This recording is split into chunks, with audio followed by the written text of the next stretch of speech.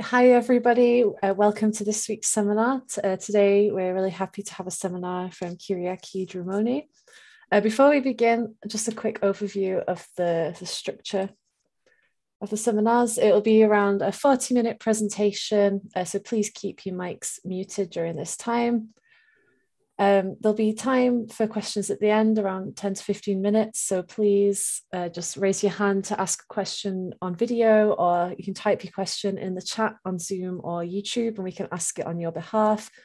So this talk is being recorded and live streamed to YouTube, and you can watch it later on our YouTube channel. And also, just to mention, this is the final uh, seminar of the semester for this series but we'll be uh, restarting the seminar series next semester and the schedule will be updated soon. So thanks again for coming.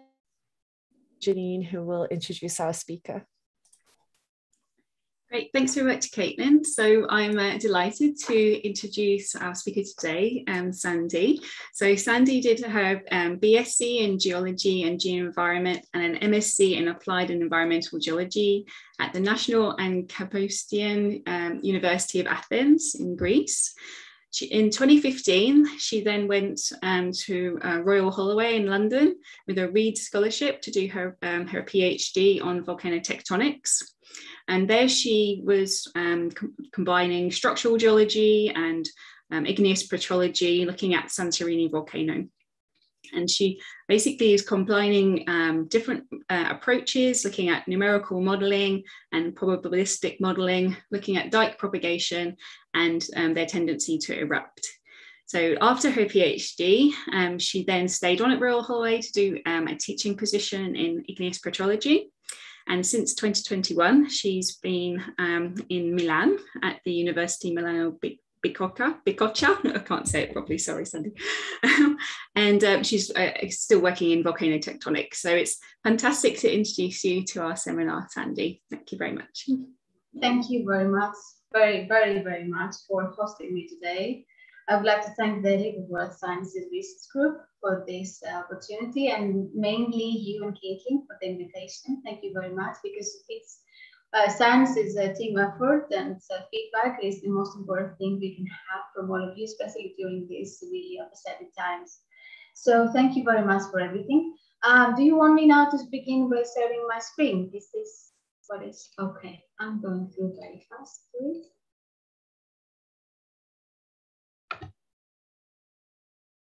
Okay. So soon as I will be in full mode. One second.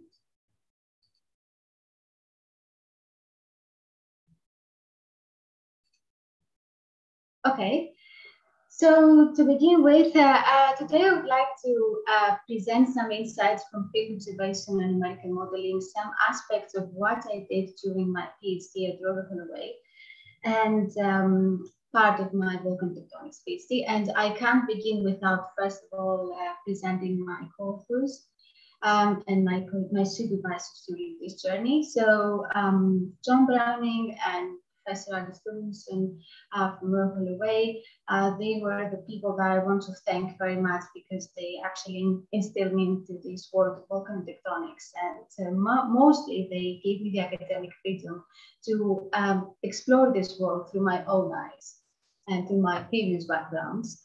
Um, and learning so many more things uh, during uh, the, my, my studies at Royal Holloway. So while I was working on the PhD project, where I had the opportunity to pose my own questions and try to look for the answers, I thought it would be interesting to go through this talk today and just go through uh, questions that can be posed in this field and how we can go closer to the, to the answers that we are looking for. So to begin with, um, I will just briefly discuss a little bit about uh, the volcanic tectonics uh, discipline and what it's all about, why we study uh, volcanoes and why it is important. And then I'm going to discuss a little bit before uh, the insights on numerical modeling and why uh, I decided to study Santorini volcano in particular. So uh, as you can see on the right side, you see the um, map, the geological map of Santorini. Uh, and on the left side, you can see kind of a chain. So this is kind of the pattern that we're going to follow today, a question that is going to lead us to another question until we find the light. So to begin with, volcanotectonics is a discipline that has emerged over the past four decades. And uh, we can see that the, during the last two uh, years, uh, two great textbooks have defined this discipline already, and this is important. So, uh, however, its roots are really, really older. So volcanotectonics, if we could uh, describe it as a discipline, is a combination of three things. Techniques, uh, data, and ideas that they have all of them a specific target to understand the internal structure and processes that occur inside volcanoes at any scale. And what I mean by that, stresses, magma accumulation, transportation of magma from the source to the surface. And all of those are related to the most important and one of the most, sorry, uh, targets in volcanology, which is the reliable eruption forecasting, which means that one day we hope we're going to define the frequency, the duration, the location, the size of the eruption in the time uh, another very important and particularly uh, interesting aspect of volcan tectonics is that you can study and you can collect data in active and fossilized, deeply eroded uh, structures. So that gives you the opportunity, that gives us the opportunity to study before, during, and after the eruption. So here, for example, I have these two really nice graphs which describe what volcanic tectonics is all about from the left side uh, from uh, Valerio's volcano factory, like very much this, uh, this term, and the plumbing system, which actually is mainly focused on how magma is propagating from the source to the surface, from deep-seated reservoirs to the surface. And uh, studying volcan tectonics, means that we have to be able to find areas around the world that they can provide us with these systems that can give us information about those, uh, how, how magma is transported to the surface. So for example, in the picture here, I have um, a picture from the northern of Santorini, where we are going to discuss today, uh, which is actually part of the shallow um, plumbing system that we are able to observe and study there. So that's why volcanotectonics is kind of a really nice and novel uh, method to um, study volcanoes right now. Uh, before moving on, since we're going to present a little bit of uh, numerical modeling here, I just wanted to go back to the classic uh, understanding of uh, volcan tectonics, which uh, relies to the combination of geology and physics and mechanics of eruptions. So um, we, my personal work was uh, focused on how magma is propagating to the surface through dikes, which are the, the structures that uh, can um, mostly on Earth uh, do this uh, specific process. Um, however, the reason that we're studying it is because the reaction phase of the dikes uh, is, uh, is unknown the dikes can either come to the surface uh, or they can stop on the way or they can deflect into the existing fractures or other structures and then they can change, deviate their ways to the surface. All those um, um, final destinations, if I would say that, are related to the mechanics and stress parameters that uh, uh, the elastic properties of the host rocks that uh, permeate through. So the actual fate depends on three, if I could say, related parameters, which are the tensile stress, which is generated at the type T, the rotation of the principal stresses, sigma 1 and sigma 3, exactly at the type tip again, and the thickness of the elastic properties of the rocks above, below, and at the contact itself. So these uh, three parameters control these three very nice mechanisms, the stress bar, the elastic mismatch, and the footfall and debonding and delamination. Uh, during my PhD, I worked mainly in the stress fire. So the models that I'm going to present here focused on how uh, stress rotation occur at the tip of the dike and can de deviate or can tell us exactly if the dike is going to stop, deviate, or propagate its surface according to our model results. So the next question is why we're working on Santorini and why Santorini is a case study that we picked out and the answer is uh, has two options. First of all, um, it's profound that uh, according to studies, volcanoes that uh, there are many volcanoes around the world that can be candidates to produce really uh, explosive eruptions in the future. So Santorini is one of it. But the most, the second most important uh, uh, region is that Santorini experienced an unrest between 2011 and 2012, and that makes it a really nice candidate for volcano tectonics because during that time we had the opportunity to study uh, in situ um, what happened during the unrest. Unfortunately, there was no, uh, unfortunately, according to science, of course, there was no eruption, um, but we had the opportunity to study in situ the stresses, and we had a lot of uh, capacity of data from seismology and geophysics that provide us with many implications according to how dike propagation is happening, uh, is occurring in Santorini. So for those two reasons, Santorini volcano is a very nice uh, example, a nice candidate, because right now we have an area where it has uh, experienced an unrest and also it has a fossilized dikes form at the northern wall. So before I go further into discussing about Santorini, very, very briefly, for the people that they have, they're not uh, particularly um, haven't worked before in Greece, uh, I want to briefly say a little bit things, things about the geology and the geodynamics of, of, uh, of Greece and then something in general. So Greece is uh, an Aegean microplate that we're going to focus and work on because this is where the volcanic arc lies. It's located close to the subduction zone and it's affected mainly by the Anatolian fault zones.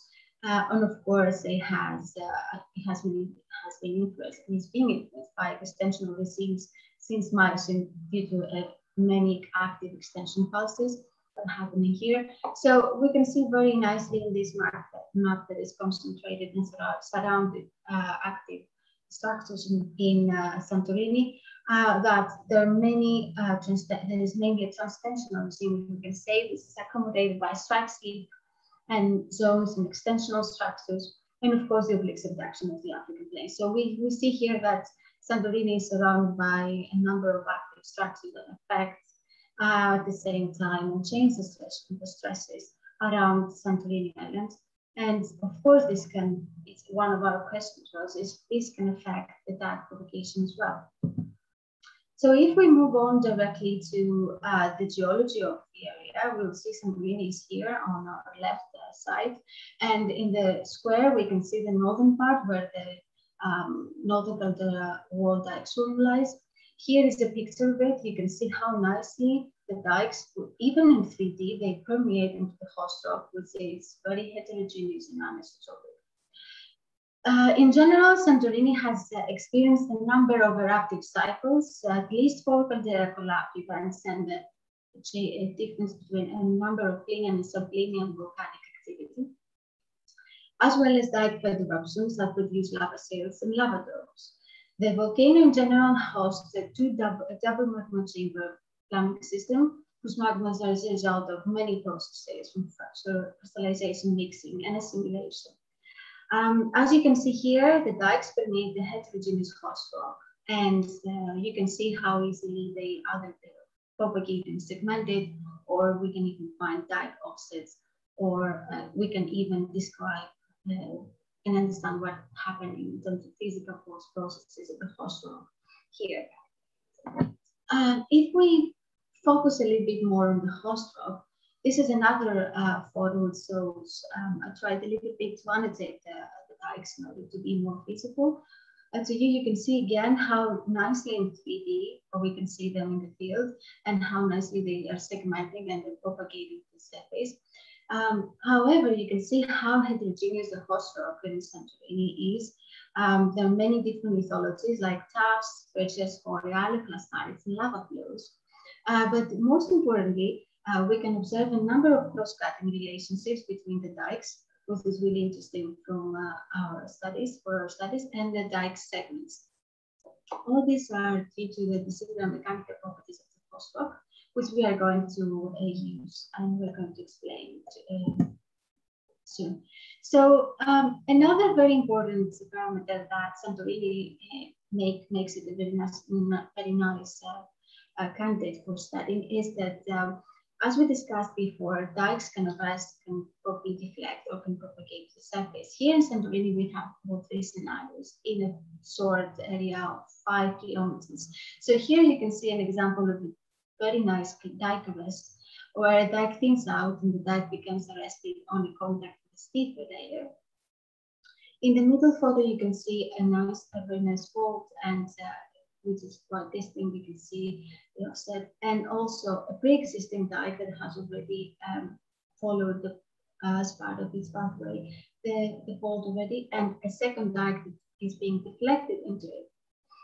Um, and here you can see on your right side the dikes that propagate right, uh, to the surface, either segmented or um, without reforming segments that emerging.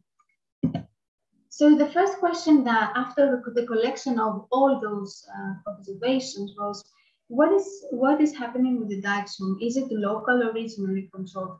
This is something that was a debate uh, previously as well. Many studies have been conducted and they were mostly talking about dikes that they, they, uh, uh, uh, they have been in place north in the direction north, east, southwest. However, um, this was something that we had to check. And since the, all dike swarms are controlled by the local stress field, this is the knowledge that we get from studying dike propagation in other areas around uh, the world, and which in turn is partly the result of local features and regional features. But usually the only field, field that uh, there's only one field at the time of single dike placement. So here we went back to the field, we uh, mapped uh, the dike swarm, and we provided the, as our first outcome, the first um, a map which shows exactly the location, the strike, and dip of the dikes we've seen on the wall.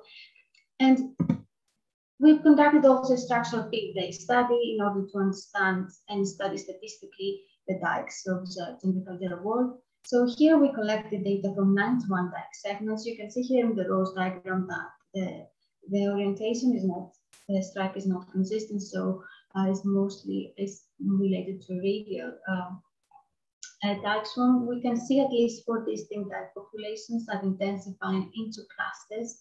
Uh, the classes are related to localities uh, across the caldera wall.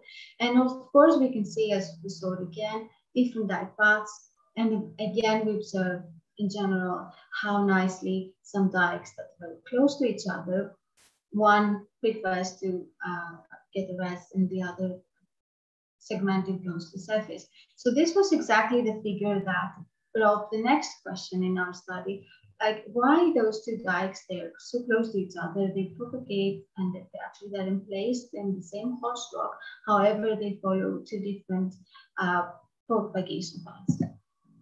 But before we go into this, we also worked a little bit on understanding what uh, and exploring the dikes and the faults as well in the area. So we mapped uh, the faults that we've observed on the Novigrad wall, and we try to focus and statistically to understand how many dikes are, being um, deflected into these faults observed on the caldera wall. Um, and at the same time, we use data from like the thickness of the dikes in order to calculate the overpressure that is needed for our numerical study.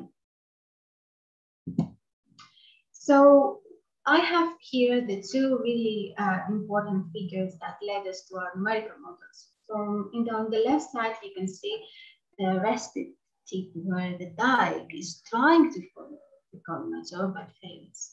And this is a very nice example of a dike arrest, a dike that thinks out at the tip. So that was what intrigued us to work on the dike scenarios. However, here we can see very nicely from very close that here is the fault, the dike fault interaction, how the fault uh, is was probably active during this uh, event, and the dike uh, interacting with it and follows partly to this propagation pathway. So for the first question, which relies on what is the probability of a dike feeding eruption, uh, we try to explore, as I showed you before, the two dikes that we've seen very close by, the feeder and the arrested one. So we worked on uh, two boundary conditions, either a magmatic overpressure only or magmatic overpressure and regional extension because the, um, the stress field uh, at Santorini Novigrad is, um, is extensional.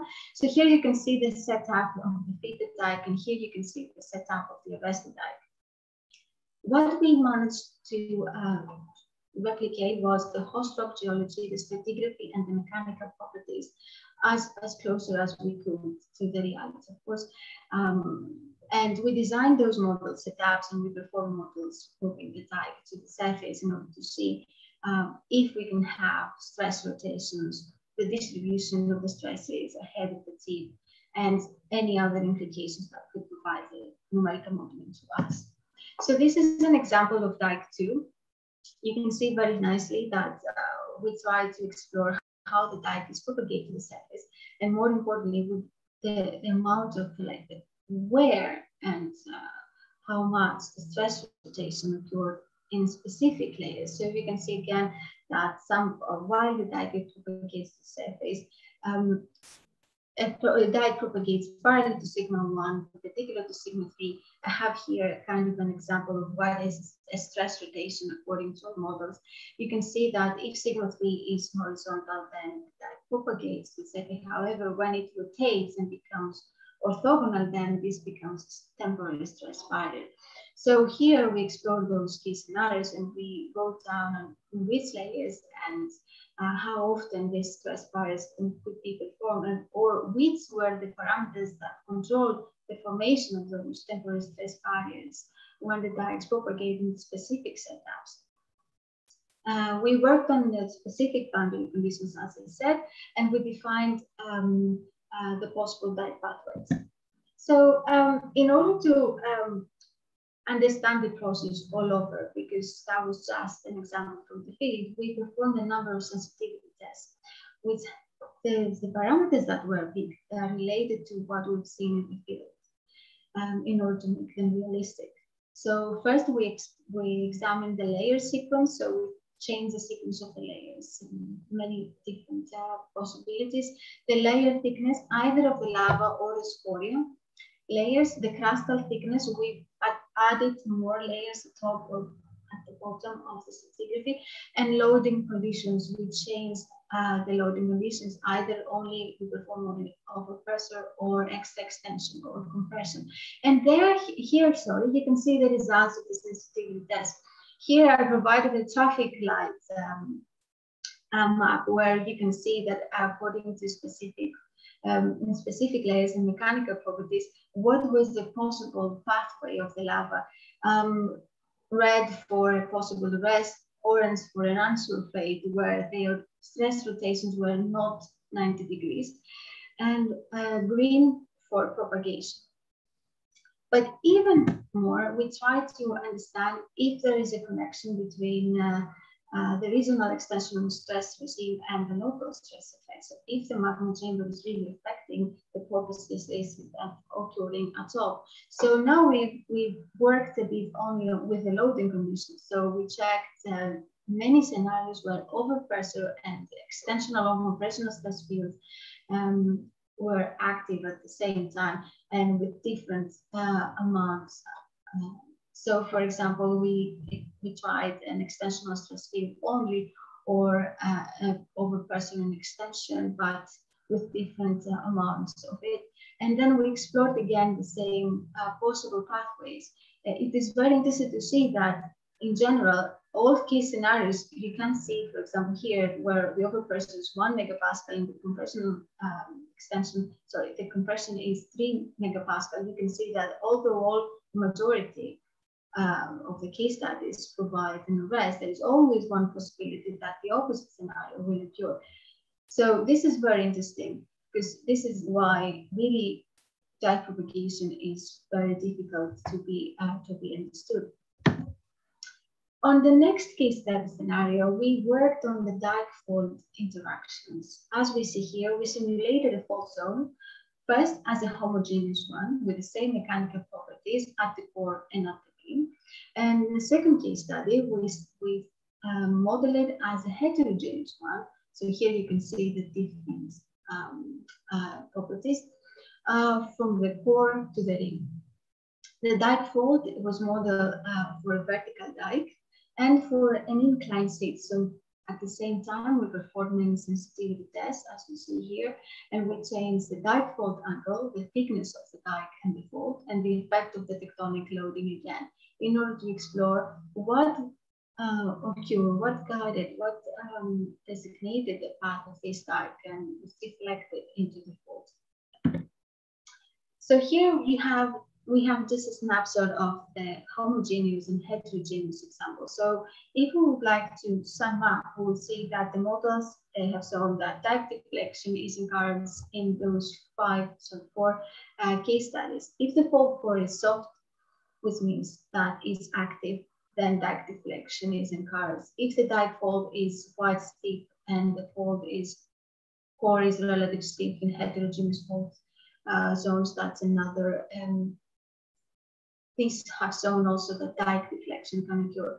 In the third case study, uh, when the fault core is thick and relatively steep, and on the fourth case study, uh, it's between the combination of the dike fault angle and the tensile strength of the fault core.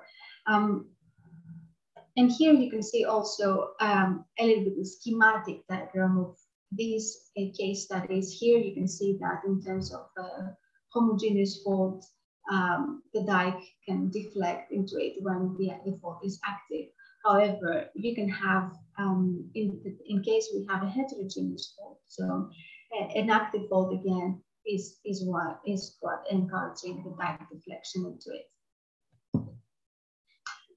On our last question during the finishing, uh, finishing uh, stages of the PhD, was what are the limitations on the reconstruction of the volcanic plumbing systems? And that's why, because uh, we worked on them. However, the more we know, the more we don't know. And uh, deeper you go to this process, we realize there were many more limitations that they what we could uh, add into the systems.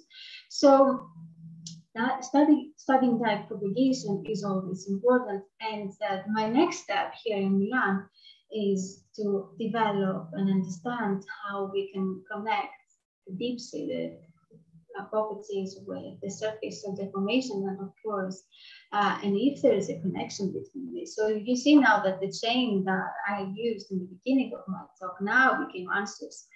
So the answers that we could, took during the PhD, hopefully uh, during my work, they will, will, will guide us to understand what happens and what connects the depth with the surface. So my next spot is now working on Iceland.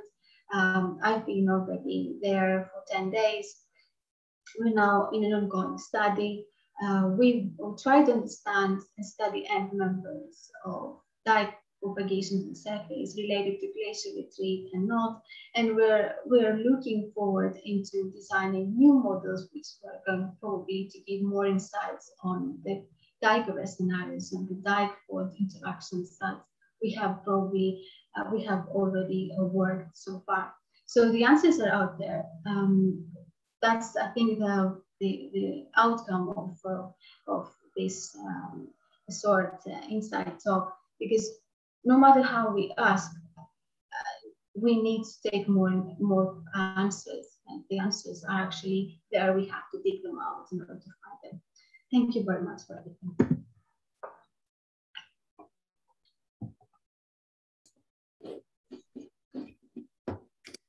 That was really fantastic. Thank you very, so much, Sandy.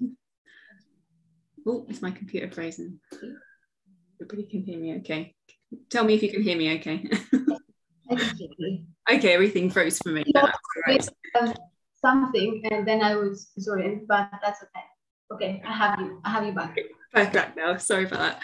Um, so yeah, we have some storms here which are causing some technical problems. But so it was a really fantastic talk. So I was just wondering if anybody in the audience had um, any questions. We've got a few people on YouTube watching as well, so I've, I've, we can give them a bit of time to type questions if if they have any. Um, oh, uh, Caitlin has a, a question. Go for it, Caitlin.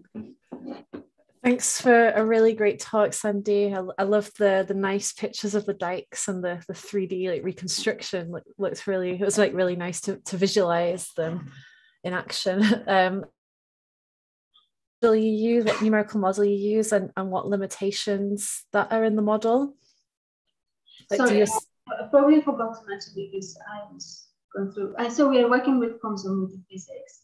Okay, so this uh, allows us to um, model the dike with uh, as a cavity, and we uh, give the dike in specific overpressure.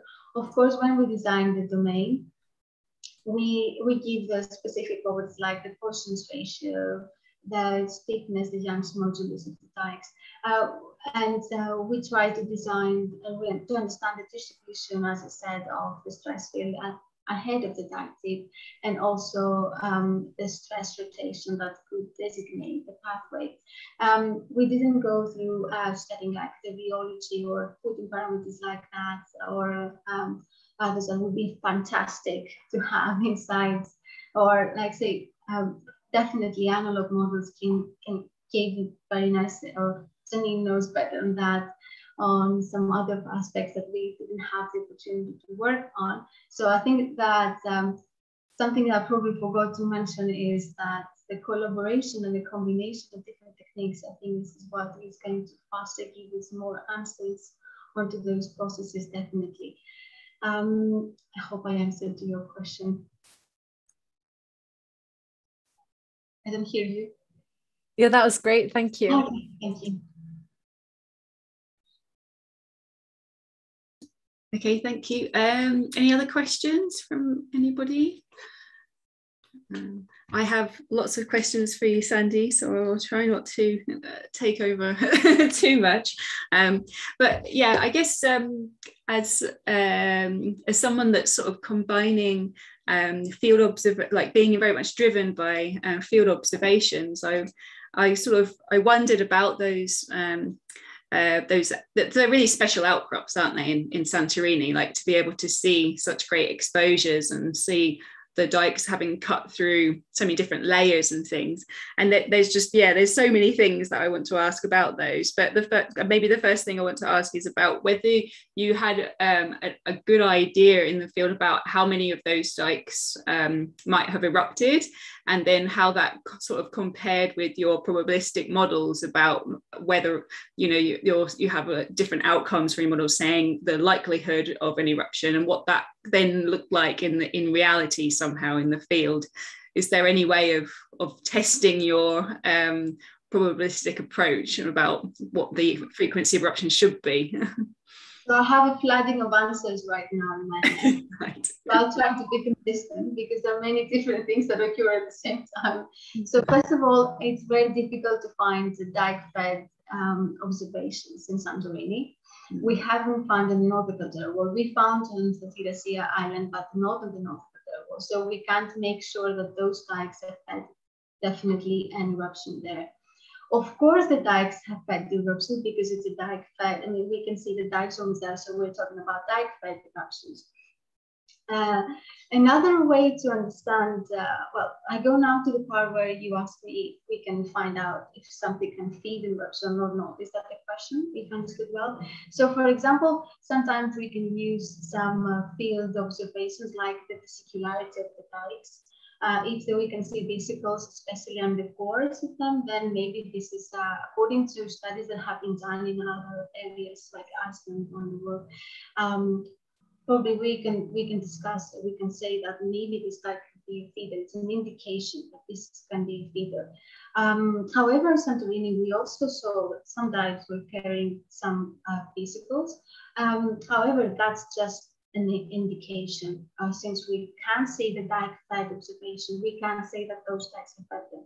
Of course, they have fed some of them, but due to the multiple caldera collapse, it maybe those have been just destroyed, and we were just unlucky on observing the, the real uh, dike fed uh, observations there. Mm. Yeah, it's it's always one of those challenges, isn't it? About the um, uh, you only get this sort of even though there's a bit of 3D information there, it's still just a 2D shot and it is just one part of the wall. So there's a lot of things we don't quite know. But yeah, that's really interesting. So Anthony has a, a question for you. yeah, uh, thanks, Cindy, for the talk. Um, what do you think the effect of um, like velocity of the dike coming to a rock, to, to the host rock, uh, could do? So like if you change the strain rate uh, on the host rock, do you think it can change the, the patterns in your model? Yeah, well, I think I haven't, to be honest with you, I haven't tried that so far with COMSOL. But uh, yes, I think it will it will be uh, something that could be a very nice idea to do in the future. But I, I'm not really working on this. I'm working on general model setups. Uh, but yeah, definitely I think that it could be one of the many grain size or any other parameters that I can have right now in my mind, and the numbers really. But yes, thank you for the saying that.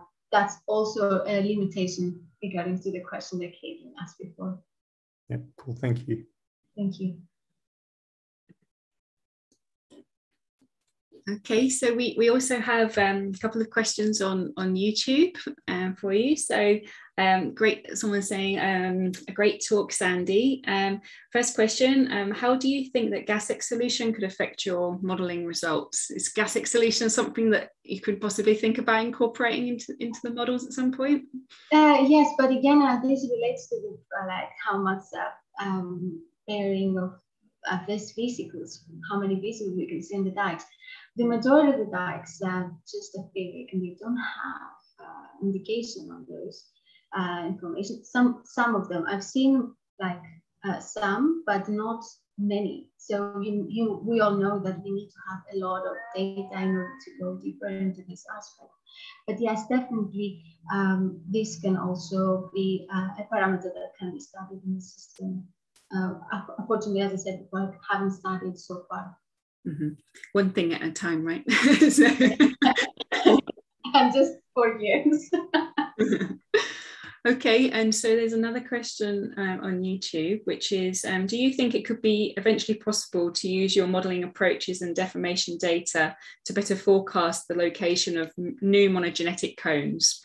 I was thinking about La Palma. Okay. Um, I think this is the, um, the outcome of tectonics in general. This is why tectonics is a discipline that tries to, uh, this is relates to the, what I began talking about.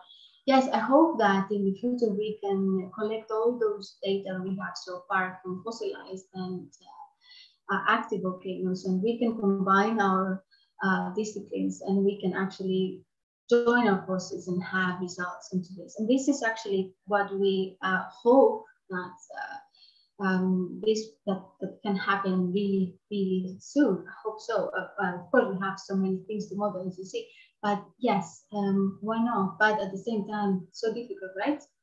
Mm-hmm. Yeah, definitely.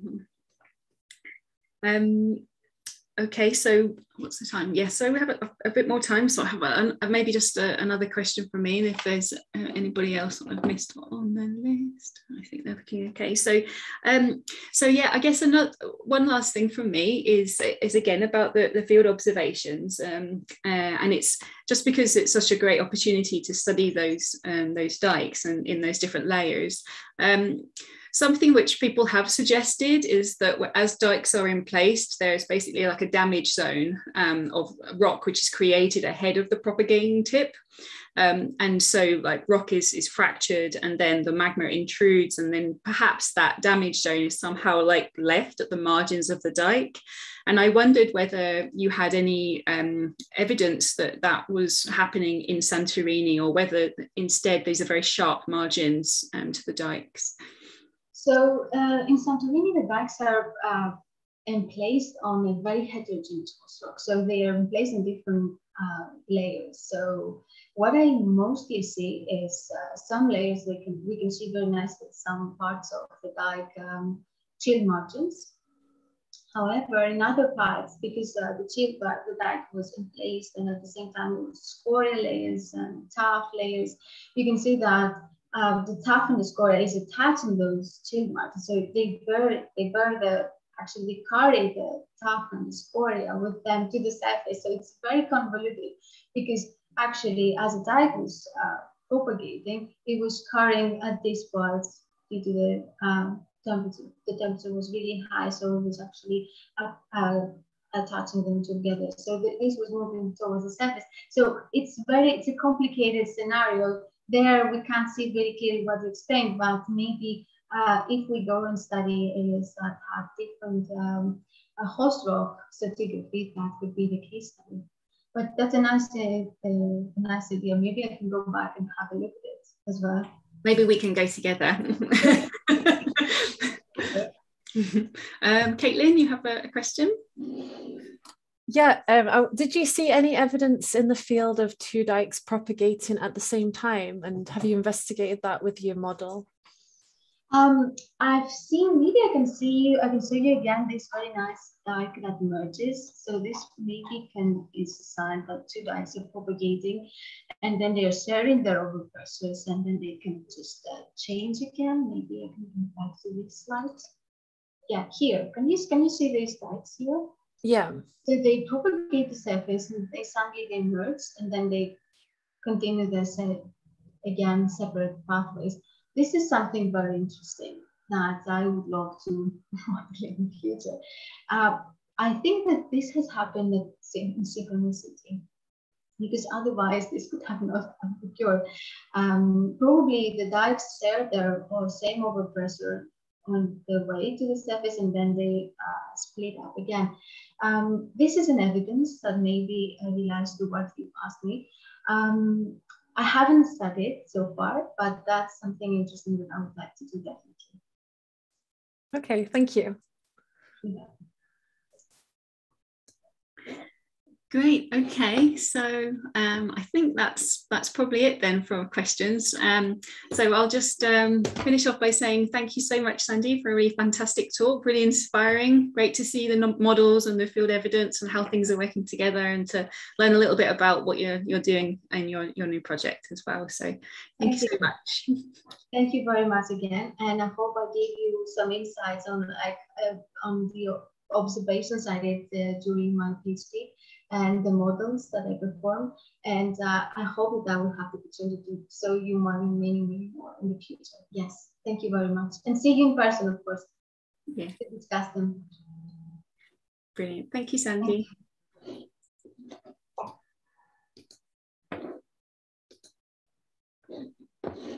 Yeah, thanks again.